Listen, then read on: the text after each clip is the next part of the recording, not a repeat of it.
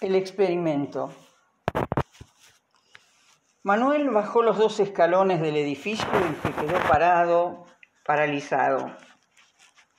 La voz acababa de susurrarle en el oído, un momentito.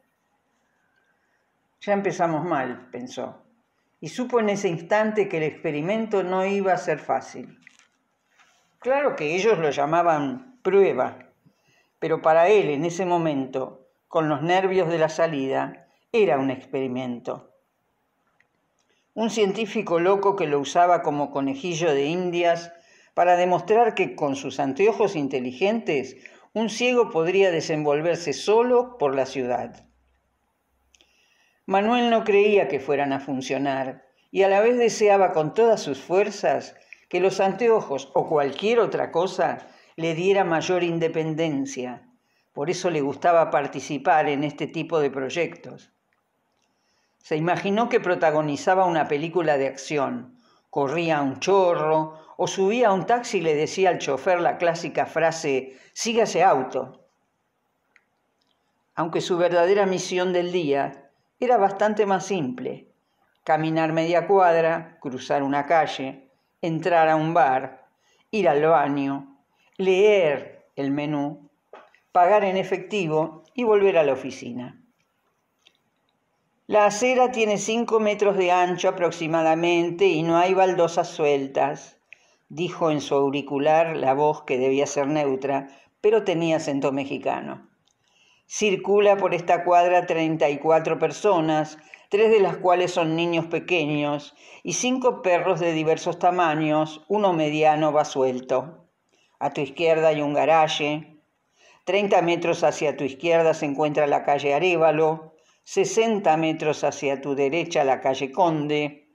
Ambas calles cuentan con esquinas señalizadas con relieve en el suelo, semáforo y senda peatonal. ¿Hacia dónde quieres dirigirte?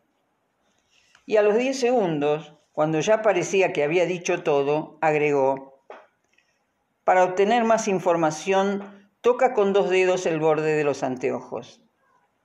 Al oír estas descripciones tan minuciosas, Manuel se preguntó qué le dirían en un barrio con calles de tierra lleno de pozos y obstáculos de toda clase. Tendría que probar. Tocó con tres dedos el auricular para activar las notas de voz y grabó un recordatorio. Siempre compartía datos con otros que los testeaban en distintas ciudades del mundo. Voy a un bar, no, a una confitería, en Suipacha y Arevalo. Yendo a una confitería en Suipacha y Arevalo, camina un metro, luego gira a la izquierda y avanza 30 metros. En 10 metros hay un desnivel de la acera que indica un garaje.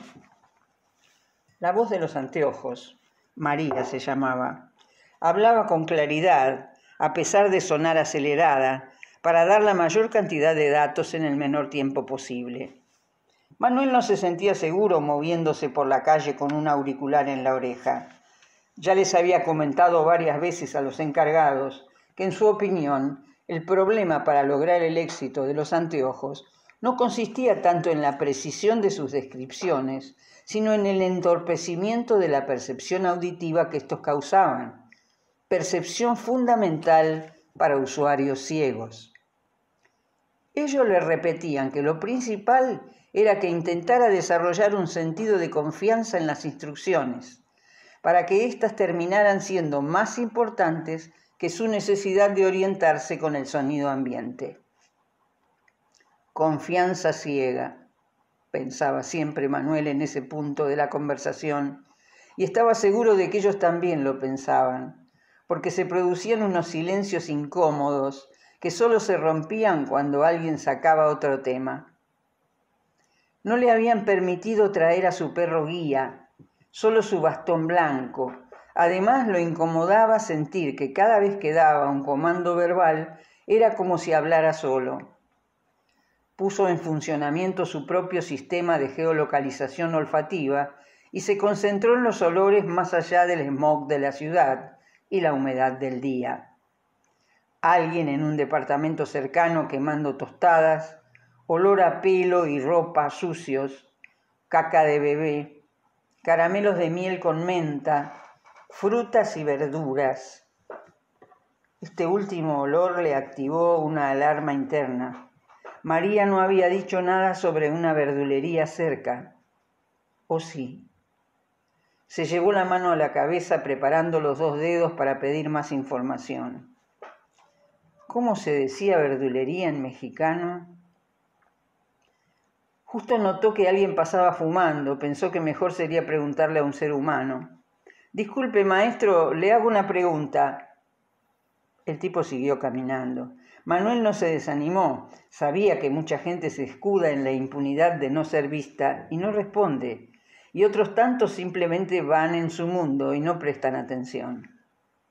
Comenzó a moverse tratando de dejar de lado el posible peligro de los cajones de verdura. Avanzó un metro, giró a la izquierda y cuando iba hacia el garaje que María le había anunciado, escuchó un sonido punzante. Los anteojos le avisaban algo. Se detuvo asustado y a lo lejos oyó a una mujer. Correte, maga, deja pasar al señor. Y una nena de unos tres o cuatro años respondía, Ma, ¿pero por qué tiene un palo blanco? Manuel agradeció por primera vez la interrupción de la alarma que le evitó escuchar otra explicación absurda de madre.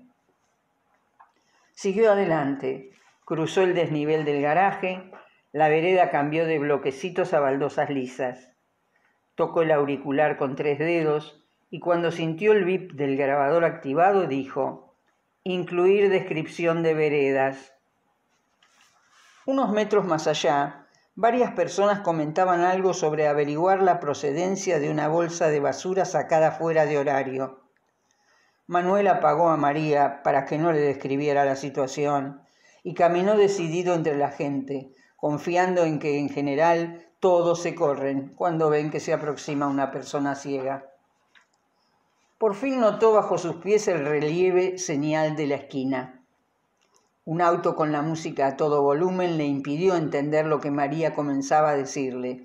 Se tapó la otra oreja para escuchar mejor y en ese momento alguien se lo llevó por delante. Pero mira dónde te venís a parar, pero... Ay, disculpa, chabón, vengo recolgado. ¿Todo bien? Todo bien, dijo Manuel, contento de que al menos le había dado un codazo involuntario. Los anteojos hicieron sonar tres pitidos cortos la indicación de la proximidad del cordón. Manuel había quedado aturdido con la alarma de colisión y el golpe del hombre, y lo sintió como tres perforaciones de taladro en el cerebro. Quiso grabar un recordatorio sobre el volumen de los avisos, pero justo María habló. Camina 30 centímetros hacia tu derecha para situarte frente a la rampa que desciende a la calle. Aguarda y prepárate para avanzar en 12 segundos. ¿Querés cruzar? le preguntó una señora, la misma que le había dicho a su hija maga que se corriera. Ahora la nena estaba callada. Semáforo en rojo, no hay ningún vehículo obstruyendo la senda peatonal. Trece personas esperan en ambas esquinas, dijo María. Trece no es un buen número, pensó Manuel, y se llevó la mano al bolsillo para sacar el billete que usaba como amuleto de buena suerte. No era supersticioso, el experimento lo ponía nervioso, y hacía años que no caminaba sin su perro. Ahí se dio cuenta de que no tenía la billetera, ni en ese bolsillo ni en ningún otro lado. Entendió entonces que el borracho aquel que lo había atropellado en realidad había simulado el accidente para sacársela. Qué vergüenza robarle a un pobre cieguito. Eso lo hizo reírse un poco del mismo, aunque la situación no era para nada graciosa. Tendría que suspender la jornada de experimentación. Dio media vuelta y comenzó a volver. Está yendo en dirección contraria. Gira 180 grados y... Cállate, boluda, dijo Manuel ya enojado, mientras tocaba con dos dedos para detenerla. También tendría que cancelar sus tarjetas, sacar turno para volver a hacer el DNI, pedir otro carnet en su obra social, con lo que me gusta hacer trámites. Pensaba todo esto cuando de pronto se encontró tirado en el piso, entre manzanas, naranjas y unas frutillas gigantes, su suéter agarrado al clavo de un cajón y la alarma de los anteojos que le rompía el tímpano. Esta vez Manuel no intentó apagarla, directamente se los sacó y los revolvió a la calle. Acá estaba la verdulería que me tenía preocupado. María no la mencionó porque estaba en la esquina, sobre Arévalo, no sobre su hipacha. Sus orejas, ya despejadas, le permitieron escuchar que varias personas comenzaban a golparse a su alrededor. Una nena dijo, Mira mamá, tiene sangre. La misma nena que se había cruzado unos minutos antes. Y la madre dijo, Hola, ¿te acordás de mí? Nos vimos varias veces hoy. Me llamo María.